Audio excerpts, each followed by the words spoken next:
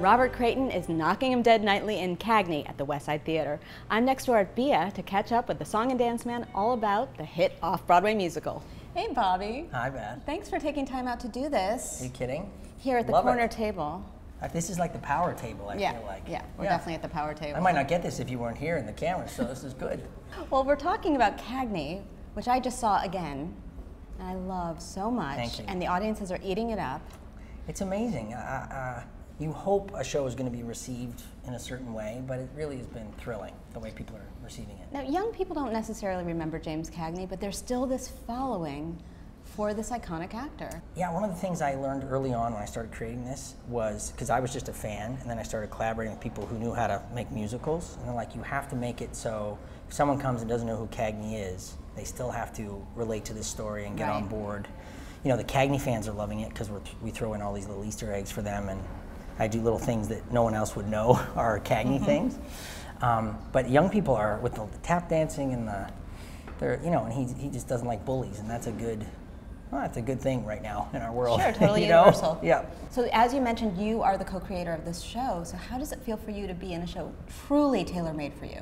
It feels amazing. There's no other way to say it. I mean, this was a dream that started in my head, and the fact that people are buying tickets and sitting in the seats, and you know, when I first felt my connection to Cagney, when a, a teacher said to me, "You remind me of Jimmy Cagney," I started watching films. I, uh, you know, and then this this light got lit in me that I'm going to create a show about his life. It's just the right time for me to be doing this part. It's total. I'm in total dream come true category. There's no other way to say it. All right, let's go back to that teacher who said that Uh-huh. you reminded him or her of Mm-hmm. Cagney. What, how did that come about? How old were you? uh, 22, I think, Mm. and he said, uh, he said, you, know, he, Jack Milanos, and he always carried a pencil. He said, "Mm, you know, you know James Cagney? I said, well, I know Yankee Doodle Dandy. He said, you look like James Cagney. You like to tap dance. You should explore him. He's a very good actor, very good actor. And so I started watching these movies, and you know, when you're in acting school, you just you're all about craft and wanting to, you know, and analyzing things. And I was like, man, this guy was ahead of his time as an actor. Never a false word out of his mouth.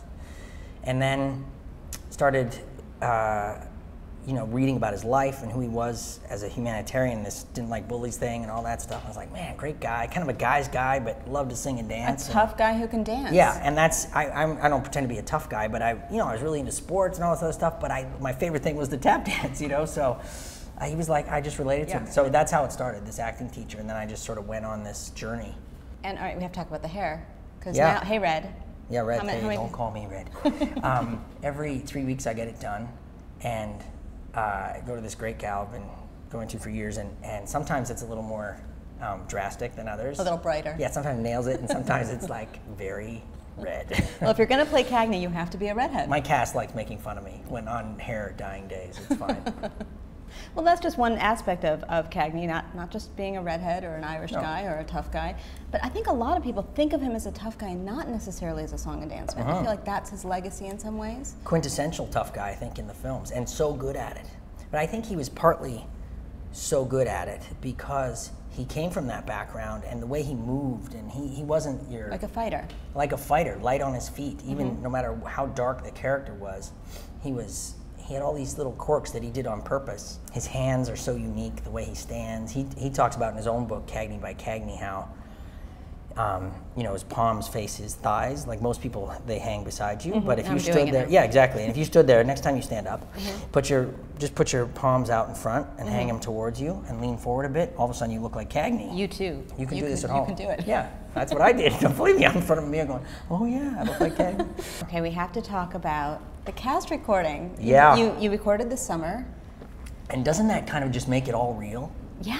Like people are going to listen. Like my kids will This grow up and when they're legacy, adults. Bobby. I know that you've, you've, you've been an actor forever. Yeah, But this, in many ways, truly. is what people really are going to think about.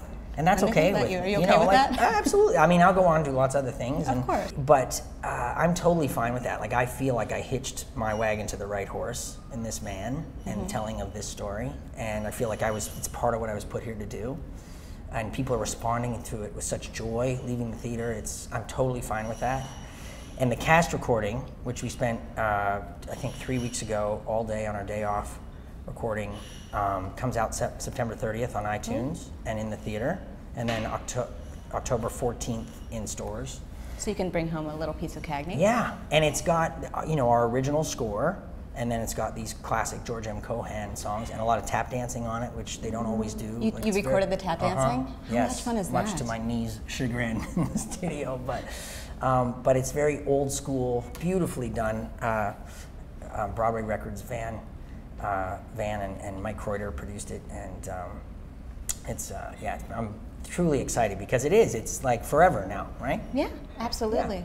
And I love that you said old school because this is kind of an old school show. It is. It's a real meaty character, Yep. and you're telling a story that people really care about. You know, that's what I grew up dreaming of doing. I was either going to be in the NHL, you know, I'm from Canada. I was going to be a Right. goaltender in the NHL, or I was going to be on Broadway doing song and dance stuff. That was my, those were my two dreams. So at least, Oh, we're so lucky you're not in the NHL. so was the NHL. Never would have made it. Look at this.